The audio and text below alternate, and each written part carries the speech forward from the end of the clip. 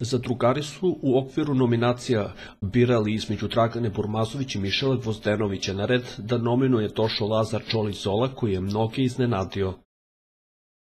Zagotivio sam Mišela, on je jedan od retkih koji su normalni i proračunati ovde, sviđa mi se njegov vid igre i to što ne vrećaš ljude. Ne treba da obričaš pažnju, šta ko priča o tebi u, u tvom gradu, pogotovo ne od osoba koje to pričaju, jer o njima tek svašta pričaju u njihovom gradu. Po mom mišljenju imaš najbolje vokalne sposobnosti, ja nisam primetio ništa negativno kod tebe i nadam se da ćemo se družiti i napolju. S druge strane, Dragana mi je super, ona je ušla i sa svima se skontala, zagotivio sam je, nije mi baš zgodno da nju nominujem jer je kratko ovde, pa ću nominovati Mišela koji će sigurno ostati, rekao je Zola.